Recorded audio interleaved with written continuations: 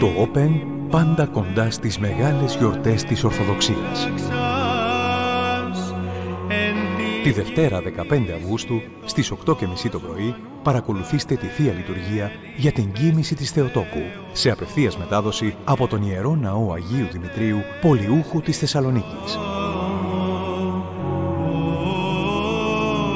Η Θεία Λειτουργία για την κίνηση της Θεοτόκου στο Open.